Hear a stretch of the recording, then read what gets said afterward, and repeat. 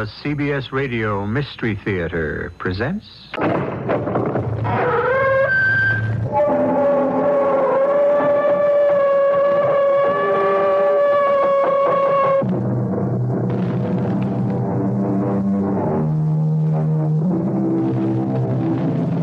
Come in.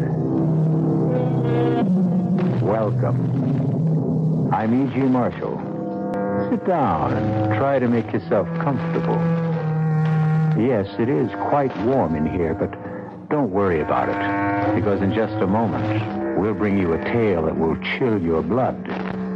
A tale of black magic that may have begun centuries ago, but which takes place today. A tale in which one of the dark powers of the pits is released on the campus of a Midwestern university. You hear that? The wind. No, it's not. It's something else. I don't hear anything. I do. Kind of humming, singing sound.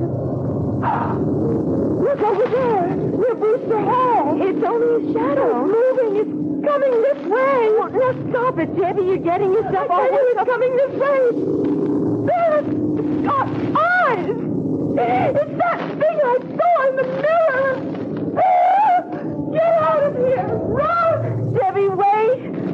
Don't go that way. This way. Over towards me.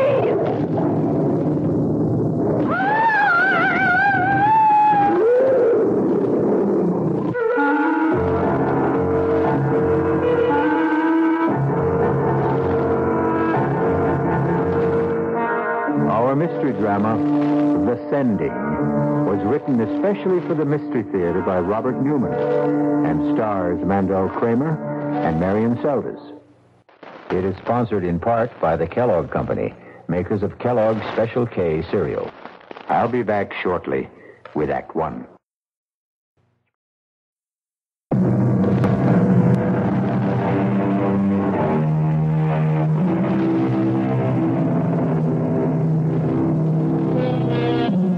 Is there such a thing as black magic? The ancients thought there was. For centuries, there were those who were willing to trade their souls for the power to call up and control the dark forces of the pit. To what end? Sometimes for power or wealth. Sometimes, as in this tale, to achieve eternal youth eternal life.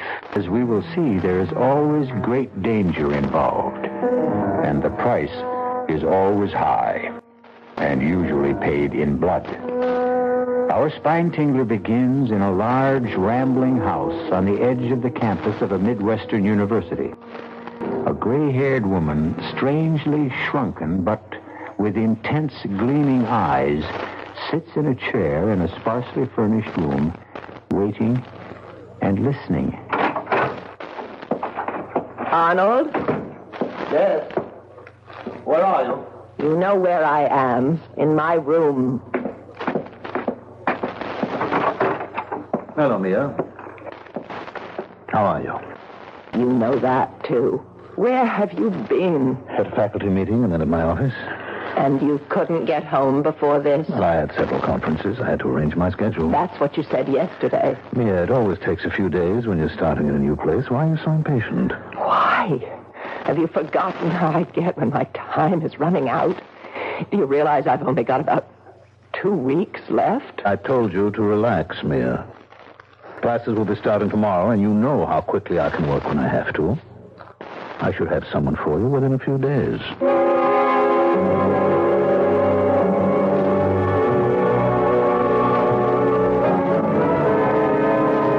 So, to sum up our first session, what we're dealing with then is a tradition that goes back to the dawn of time. Man's belief that he can control not the forces of nature, but the forces that shape nature, and can give him power over other men and even over life and death. That will be all for today. You have your reading list and your assignment for next time. However, if any of you are interested in any of the many fields I covered in my outline, by all means, come talk to me and I'll give you some additional reading for a special report. Uh, Where'd you think, Beth? Well, it was quite a lecture. I think it's going to be very interesting. I'm not talking about the course. I'm talking about him. He's really something, isn't he? Oh, come on, Debbie. He's married, isn't he? Oh, sure he is. All the really attractive ones are.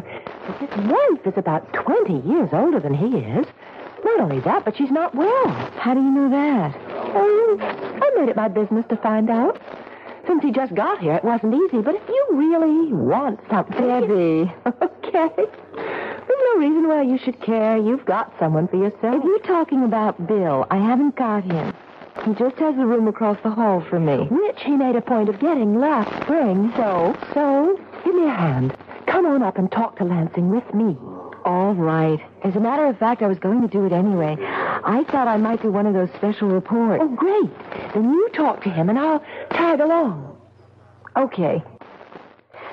Uh, Professor Lansing, Yes? I'm Beth Howard. I'd like to do one of the special reports you talked about. Oh, I'm delighted, Miss Howard. It usually takes three or four sections before anyone volunteers.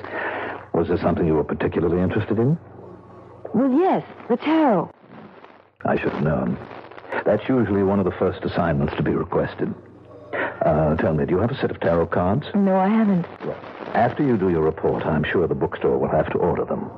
But in the meantime, if you'll stop by my office this afternoon, I'll give you my set and also a supplementary reading list. Oh, thank you, Professor. Not at all. Uh, what about your friend? I'm sorry, I, I don't believe I know your name. Debbie Ross. Would you like to take on one of the special assignments too, Miss Ross? Oh, well, not right now, Professor, but I'll probably ask for one after the next session or two. But in the meantime, I, I wanted to tell you that I, I think the course is absolutely fascinating. Well, thank you, Miss Ross. Today's lecture was very general, of course, an attempt to indicate approach and sketch in background, but I hope you'll continue to find it interesting. Oh, I'm sure I will.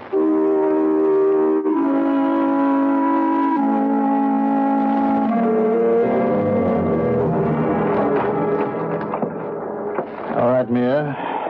I told you you could relax, and you can. You've got one? I have several. Two in particular. I'm sure you'll be delighted with either one of them. You're sure? Mia, haven't I done it often enough so that I can tell? Yes, we both have, but Arnold, it'll have to be soon, or I'll be so weak I won't be able to help. Don't worry, Mia. It will be soon. Not more than another few days.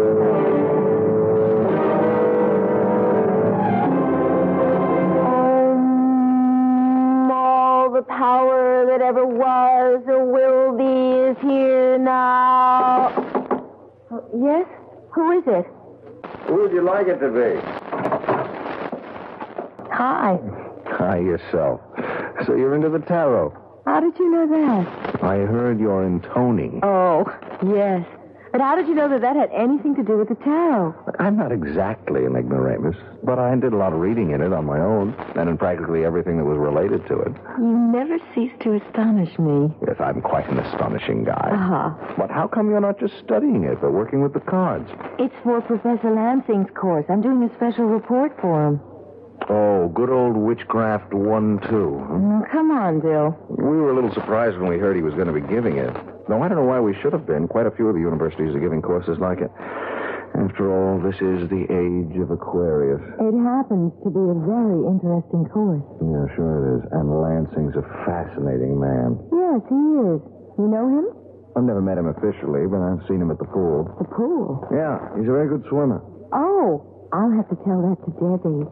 Why? Well, she's taking the course, too. And she's got quite a thing about him. Yeah, well, just tell her to watch her step. Oh, because he's married? No, because I've got a funny feeling about him.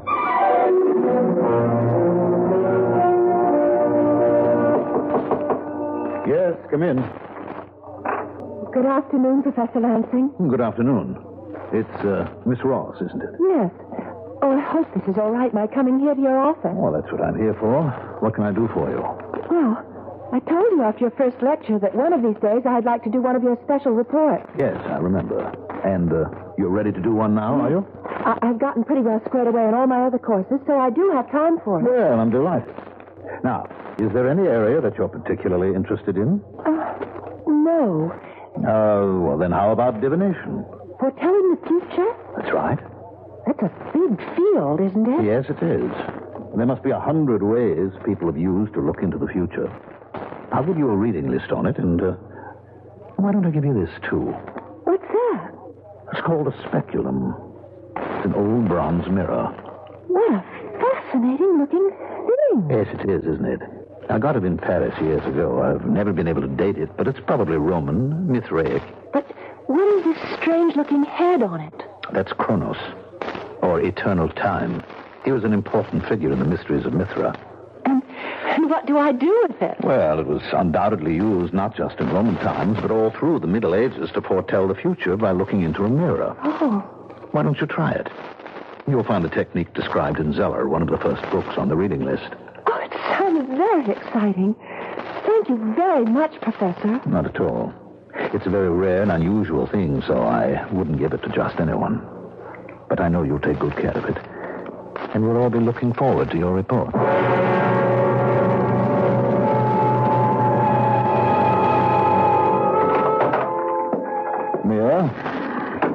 I've got the girl. One of the two I told you about. Her name is Debbie Ross. She has the mirror. I just gave it to her. Good. When can we do it?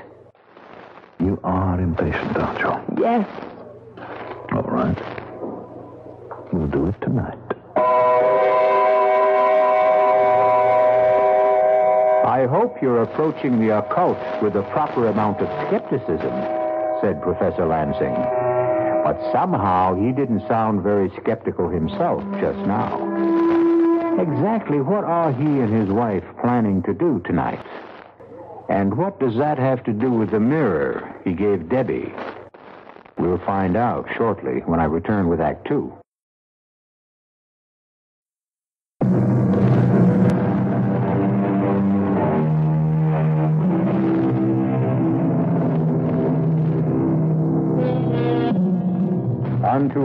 Things there is a season. And of course, the proper time for one of the darkest aspects of the occult black magic is night. Well, it's night now, about 10 o'clock. And Beth Howard has just arrived at Debbie's rooming house, which is only a block or so from the campus. I was afraid you weren't coming. Well, you said it was important, that you had something to show me. I have. Look, Oh, wow. What is it? A speculum. What's that? An old bronze mirror, probably Roman. Where did you get it? From Professor Lansing. Oh. I went to see him this afternoon. Beth, I think he likes me. He said he wouldn't give it to just anyone. Mm, I'm sure he wouldn't. It's a very unusual thing. What are you supposed to do with it? Well, it? it's all here in this book.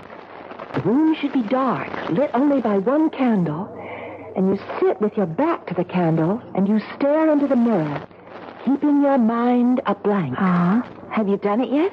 No. Well, I, I started to, and I, I felt a little funny about it. Funny how? Just funny. It's a wonderful looking thing, but, but it's pretty weird. You know, all those figures around the edge of it. Mm. Is that why you called me? Yes. I thought maybe you wouldn't mind staying here with me while I tried it. Oh, of course I don't mind. Are you going to do it now? Oh, yes. I'll light the candle. Get the light switch. All right. It's strange, but I know how you feel. I felt very much the same way when I was working with the tarot cards. We don't really believe in any of the things we're doing, but for centuries, people did believe in them. Be quiet. I'm going to look and concentrate. All right. Well, do you see anything? I don't know. I think maybe. What do you see? Wait, I'm not sure. It's probably just a shadow, but I. I do think I see something in there. Oh, what does it look like? Hard to tell. It's dark, very dark and shapeless. It's moving. It's turning. Ah, Beth, it's got eyes, flaming eyes. Oh, come on now, really. It's looking at me. Put on the light, Beth. I'm not going to look anymore. Okay. Oh, You, you really did think you saw something. yes. Well, well, as you said, it was probably just a shadow, the, the candle flickering. You really are shook up, aren't you? Yes, I am. You want to come over to my place and stay overnight with me? Could I? Of course. Bill's out, too, giving a seminar, but he should be back soon. And, and if my light's on, he'll come in for a while. Oh, good. Just let me get my coat and, and wrap this up again. You taking the mirror? Oh, I better. It may be a scary thing, but it's very valuable, and I said I'd take care of it.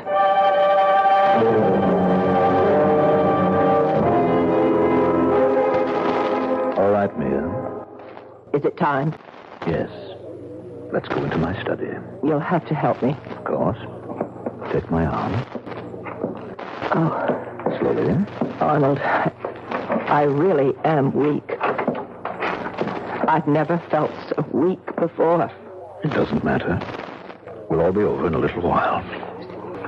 Here, now, sit down. Yes. I'll get the box.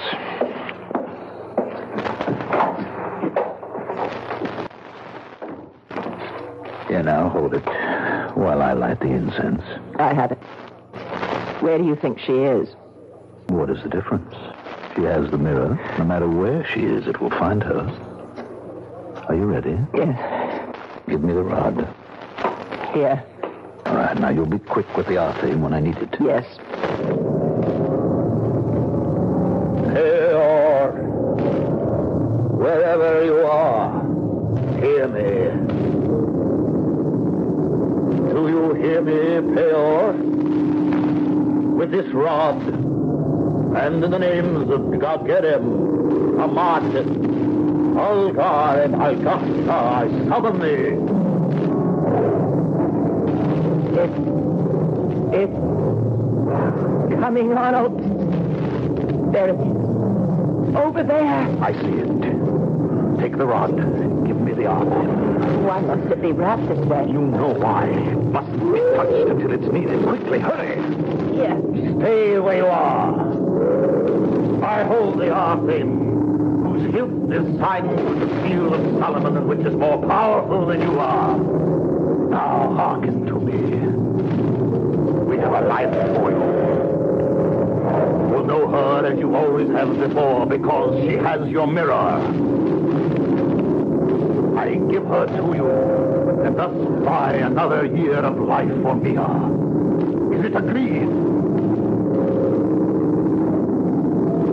Good. Begone then, and take her. Then fulfill your part of the bargain.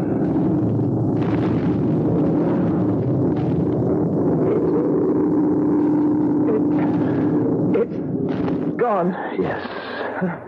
Are you all right? Yes. Oh. Yes. Somehow I always forget how much it takes out of me. Yeah, here's the Arthim. Wrap it up again carefully. I'll get us both some brandy.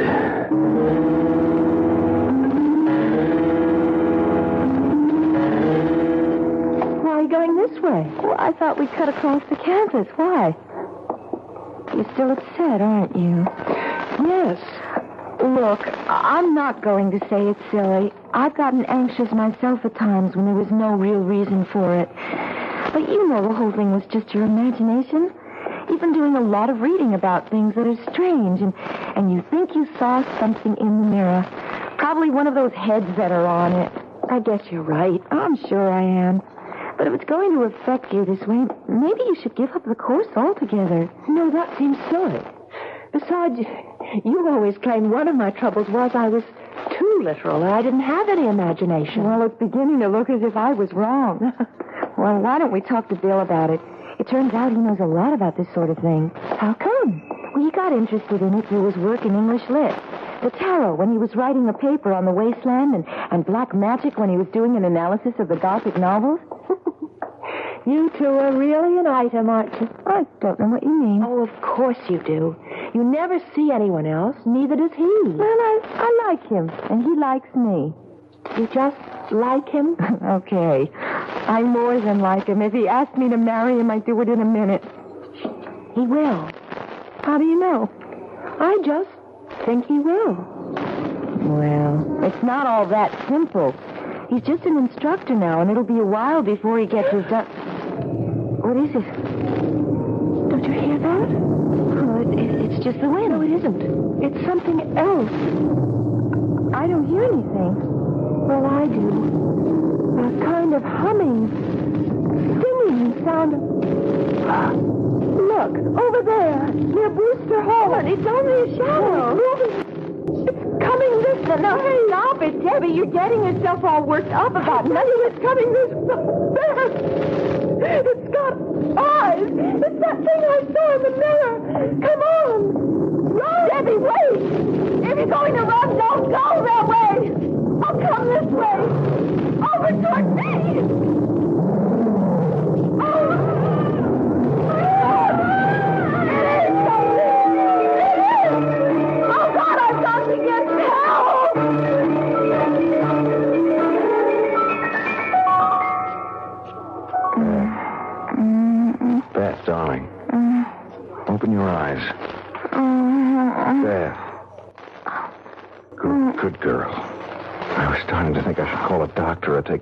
Infirmary. What? Oh, Bill. Yes. How are you? I, I don't know. I, I, what happened? I'm not sure. I found you lying on the sidewalk at the edge of the campus. I brought you up here to your room. Oh, my head hurts. I'm not surprised. You got a nasty bump. You must have fallen and banged it. Now get a wet towel. I'll put on a compress. No, no, wait. Debbie! Oh, what happened to Debbie? Debbie. Yes, she was with me. We, we were going across the campus when suddenly we saw it. The, the thing from the mirror, and, and we started to run. And Wait a minute, wait a minute. What thing? I told you the thing from the mirror. It came after us, after her, and I heard her scream. Oh, Bill, Bill, you've got to go look for her. Yeah, sure, sure. Look, let me let me get that. No, I'm all right. You've got to go find her. All right, now quiet down, Beth. Now, when I found you, you were all alone. Because I ran one way toward the house here, and she ran the other, and, and it was after. You don't believe me. Well, it's a little hard when I don't know what you're talking about. I mean, what was this thing that came after you, and, and what was the mirror? The mirror that Professor Lansing gave her. She was going to do a report for him on divination, like like the one I'm doing on the tarot, and All right, now, will, will you hold it a minute? When, when I left you to go to my seminar, you were still here. Uh-huh. You said you were going to stay here and do some reading. right, and, and then Debbie called and asked me to come to her place, and she said she had something to show me. The mirror. Yes. An old bronze one, a speculum. Speculum, she called it. She was supposed to look into it, describe what she saw. Yeah, specu- uh, speculomancy. That's right. But she felt funny about it, nervous. So she wanted me there while she did it. Yeah, and, and did she do it? Yes. Yes, we, we put out the light and lit a candle, and, and she saw. Well, no, no, she thought she saw something in it, a, a dark shape with flaming eyes, and, and that made her more jumpy than ever, so I told her to come back here and stay overnight with me. Mm-hmm. So you started to walk across the campus together. That's right, and there was no one around, and and then we heard something, a, a strange sound. The wind. Oh, that's what I thought too at first, but it wasn't. It was a kind of a musical note, and and then we saw it, this dark shape. Did she see it, or did you? We both did. She saw it first, and Bill, you think I just imagined it? Oh, don't you? Oh, I don't know. Well, let's go back over it again. She was tense, nervous, thought she saw something in the mirror, and that made her more nervous. So she decided to come over here with you. Then she saw something, a shadow of some sort, which she identified with the thing she thought she'd seen in the mirror. But I saw it too, Bill. After she described it to you. But I'm sure I did see it. It was, it was huge, dark, and all right. If I did imagine it, where's Debbie? She's probably back in the room, embarrassed to death at the fuss she made. I suppose that's possible. When I think about it, it does sound a little silly. I mean, two grown women getting hysterical. But, know? would you call her and make sure? Her, her number's in the book next to the phone. Sure. Let's see.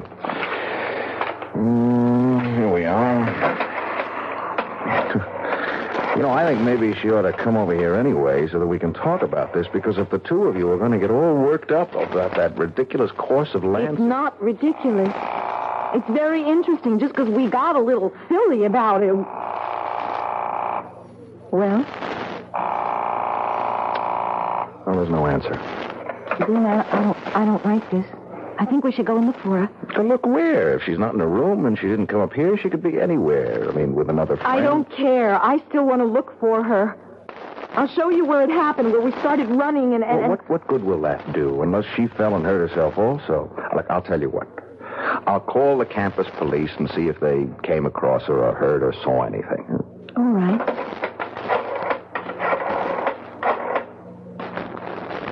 Security. This is William Taylor of the English department. Uh, this is a rather odd call, but I wonder if any of your men ran into an undergraduate by the name of Debbie Ross within the last hour or so. Yeah, well, another student, uh, uh, Beth Howard, was with her. They were walking across campus and they were frightened by something. No, no, it, it wasn't a man. It was, um... What? Oh, no. Where was this?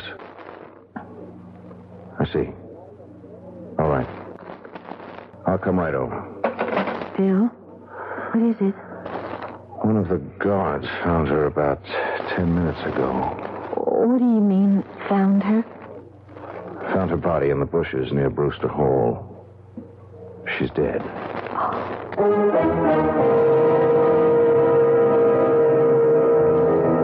Man is a rational animal, and we always look for a rational explanation of anything that puzzles us. But what if there is no rational explanation for it? Do we admit that there may be things we don't know about? Things that we've refused to recognize because the idea terrifies us? Debbie Ross is dead. But how did she die? We'll find out when I return shortly with Act Three.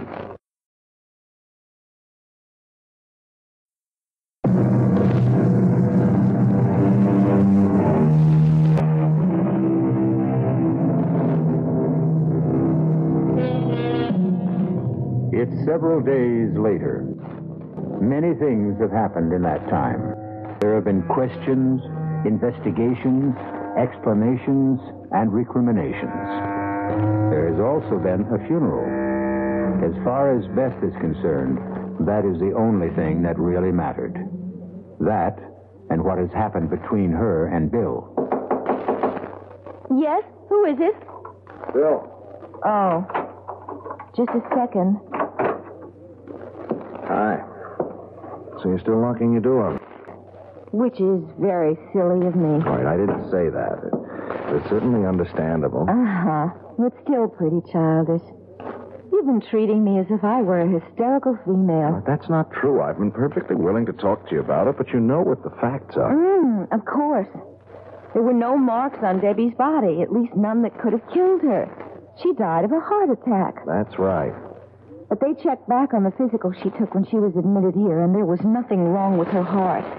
Look, Bill, we've been through this before. Debbie thought she saw something in the mirror. Thought she saw it again out on that campus, and that made me think I saw it too. Look, Dawn, Don't hold me, darling.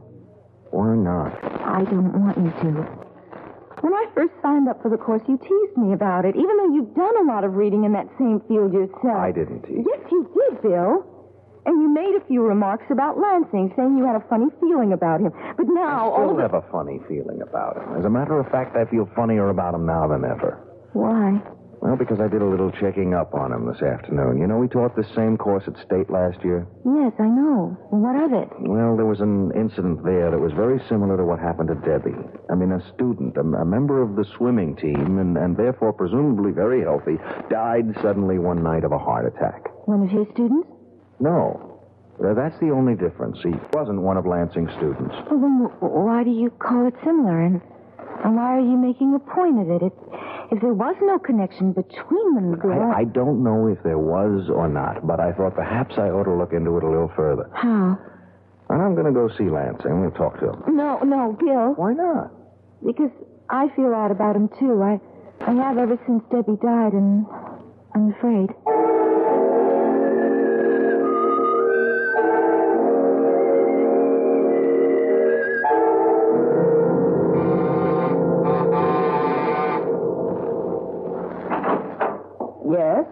Afternoon. Is Professor Lansing at home? Yes, he is. Do you think I could see him? My name's Taylor, Bill Taylor, and I'm an instructor in the English department. I stopped by his office, but he wasn't there. No, he's been very upset about the death of his student, so he's been working at home. I see. It was an unfortunate thing. Yes, it was. Uh, you're not Mrs. Lansing, are you? Yes, I am. Why? Oh, uh, well, it's, it's, it's just that I thought, uh, I heard... That I wasn't well?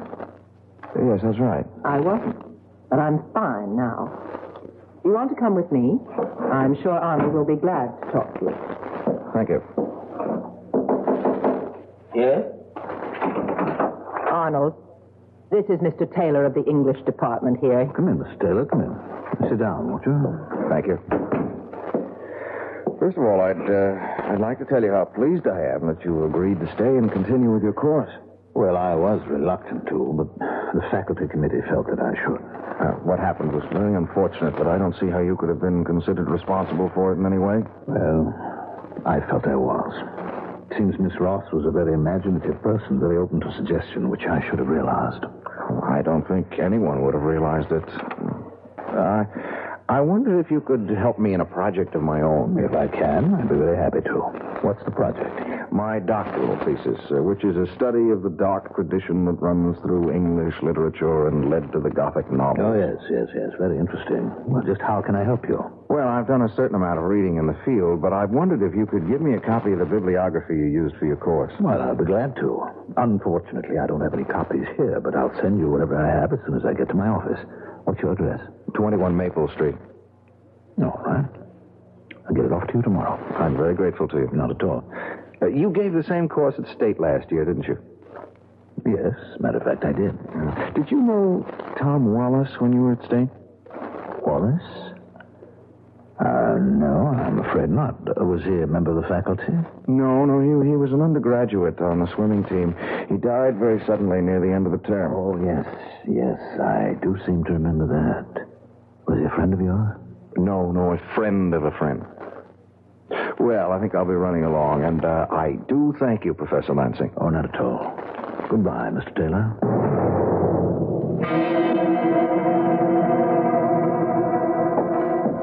Did he go? Yes. What did you think of him? He seemed like quite a pleasant young man very attractive. Hmm. Well, I'm glad you think so, because he's going to be our next. Oh? Well, you don't have to worry about that for a while. You've got another four months. Yes, I know, but I'm a little concerned about him. As you said, he seems quite pleasant and very plausible, but he asked me some rather strange questions. What kind of questions? About where I'd been before I taught at State. Also about your young friend, Tom Wallace. You think he suspects? I don't see how he can. But we can't afford to take any chances. No, I suppose not.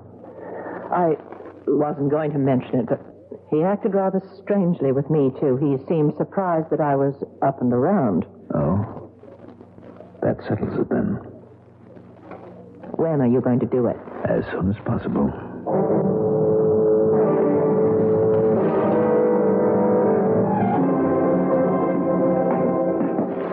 Beth? Yes, Bill? I've been waiting for you. You want to come in here for a minute? I want to show you something. Of course. What is it? This. Oh, it's the mirror.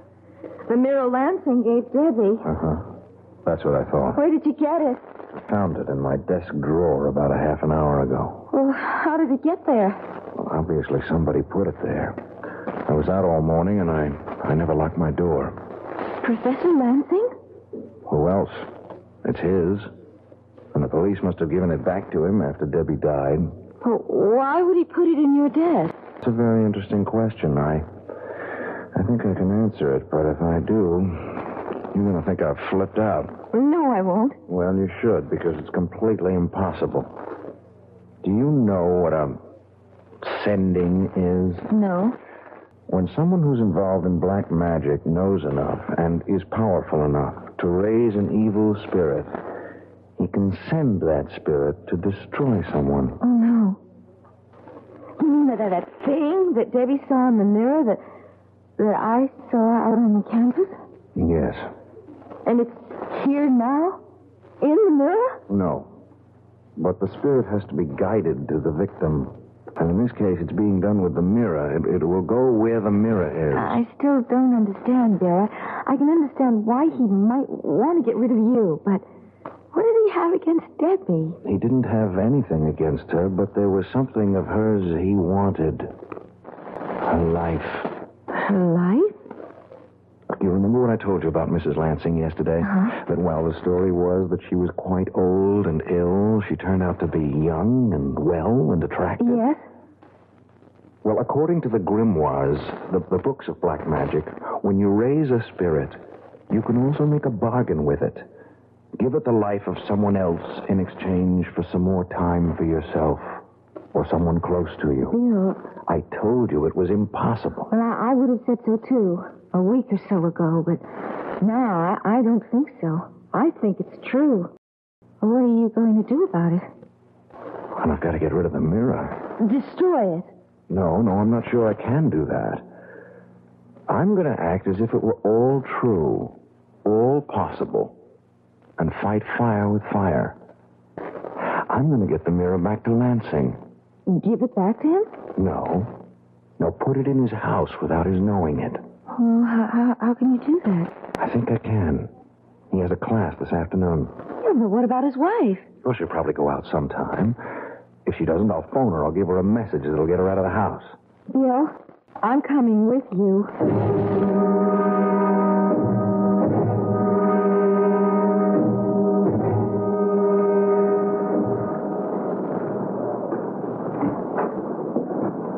All right, then. Come on in. How did you get in? Back door was open. You're sure no one's home? Well, you saw his wife leave a minute ago. Yes. What do you want me to do? Wait here with the door open a crack so you can see out. All right. Oh, where are you going? Into his study. You won't be long? I'm frightened. No, no, no, no, no. I'll be back as quick as I can. All right.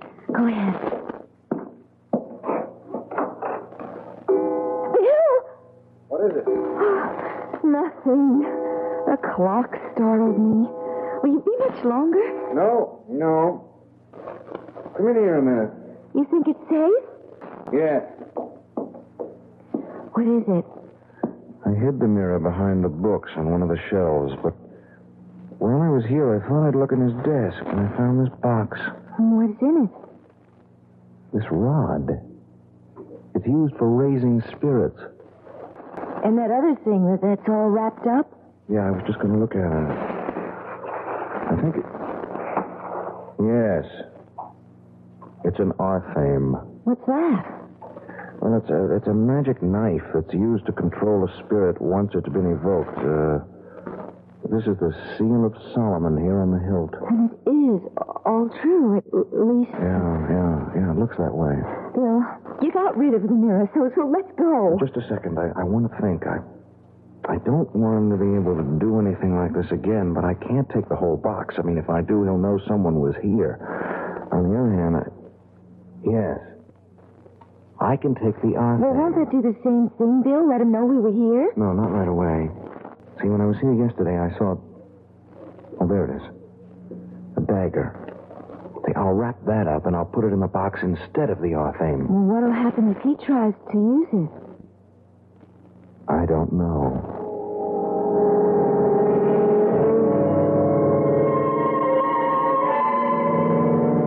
All right, Mia. Is it time? We said midnight. You're sure he's there? In his room now? He has an early class tomorrow, so I would assume so. Now hold the box while I light the incense. Arnold, I don't like this. Why not? We've never done anything like it before. Twice. Not just in the same place, but within a few weeks. We had no choice, Mia. He's suspicious. And if he goes on prying, asking questions, Yeah. All right. give me the rod. Here. Pior, wherever you are, hear me. Do With this rod and in the names of Dageram, Amatet, Algar, and Algasna, I summon thee. There it is, Arnold. Over there. near the bookcase. I see it. Give me the R then. Here. Stay where you are. I hold the R. I have another life for you. A man time. He has your mirror. Go to him and destroy him. Why are you looking at me that way? Why aren't you going? I tell you, he has your mirror. Bill, the arthame, it's my Persian dagger. What? Quick, find it. If you don't... No. No, keep away from me, please.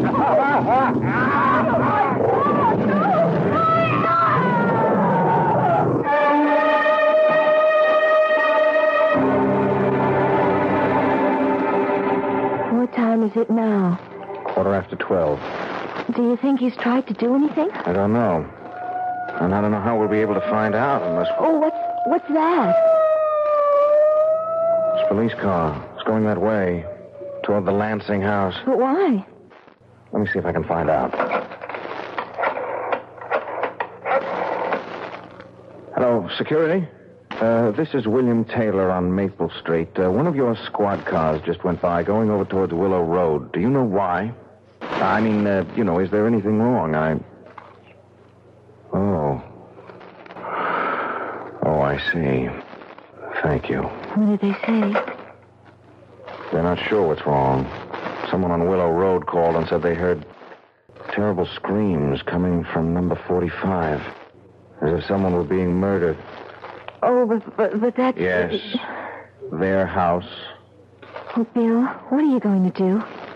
Are you going to say anything? Well, what would be the point? Do you think anyone would believe it?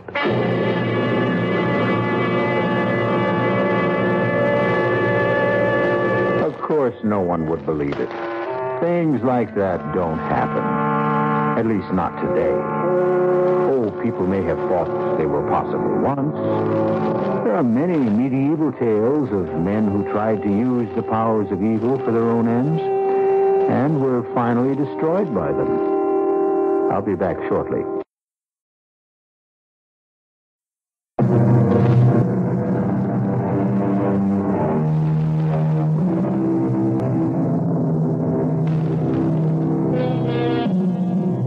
As I told you, the tale you just heard was a work of fiction, completely imaginary.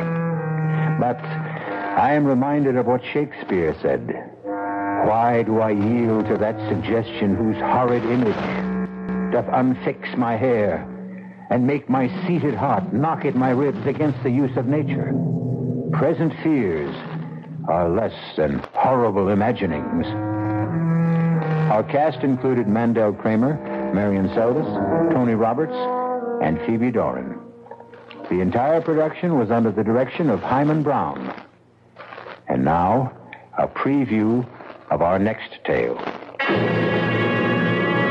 Barry, you ain't got nothing but friends around here. I ain't poking into your chicken coop. I just hope she's someone who'll treat you right. And I'm right sorry to hear she's poorly. Well, she got herself caught in the devil's cauldron. I, uh, had to pull her out. You don't say now. A local girl? I don't know. Any missing hereabouts? Not as I've heard tell. Can I ask her name? Udine. Udine. Yeah, that's a kind of foreign like, eh? What she look like, Larry? She looks like the spitting image of Barbara Jane. And you found her in the devil's cauldron? Half buried in the quicksand.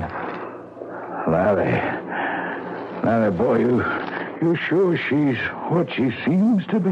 Radio Mystery Theater was sponsored in part by Anheuser-Busch Incorporated, brewers of Budweiser.